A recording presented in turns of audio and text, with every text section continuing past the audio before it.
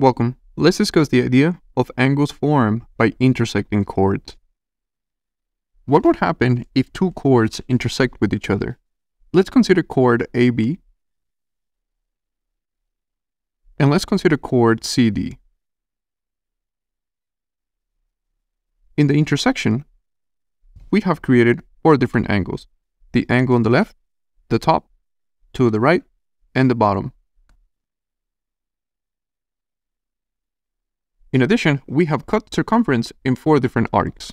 The arc on the left, the top, to the right, and the bottom.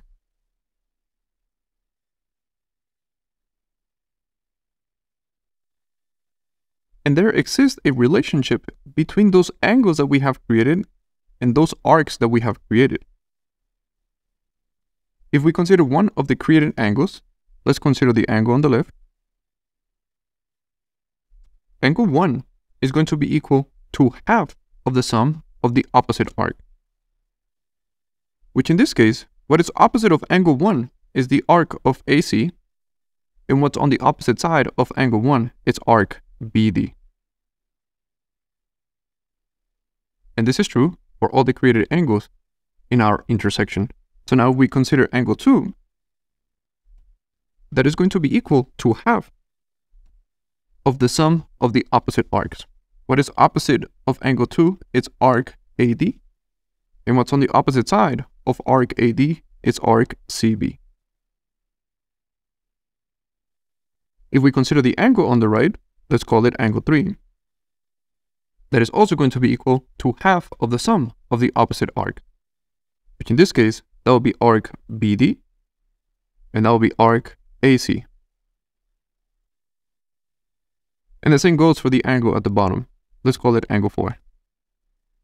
That is going to be equal to half of the sum of the opposite arc, which in this case is arc CB and arc AD.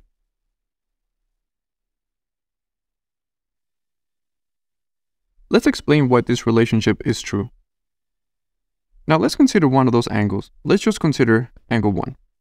We want to show the reasoning as to why angle 1 it is equal to half the sum of the opposite arcs. Let's consider a chord that connects point A and D. And by doing so, we have also created two other angles. Let's call this angle 2, and let's call this angle 3. In addition, we have also created a triangle. And there exists a relationship between those three angles. Notice that angle 1 is the exterior angle of the triangle in yellow. Therefore, angle 1 is going to be equal to the summation of angle 2 and 3.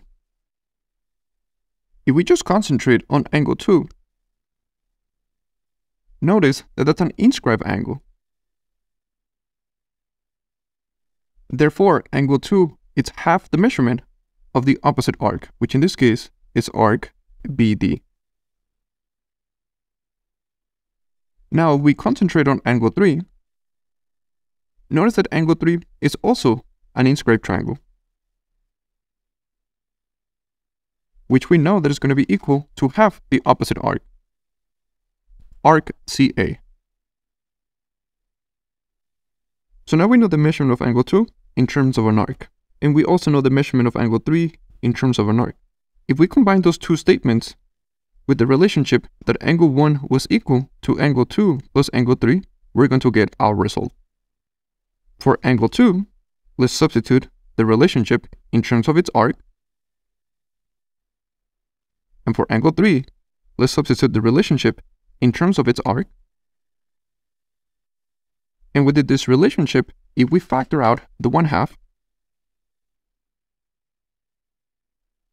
we're going to get our result which is exactly what we wanted to show. And this same reasoning can be repeated to show the relationship of the other three angles that we created with the intersecting chords. Hello. If you would like to continue learning about mathematics, you can check out the videos on the left.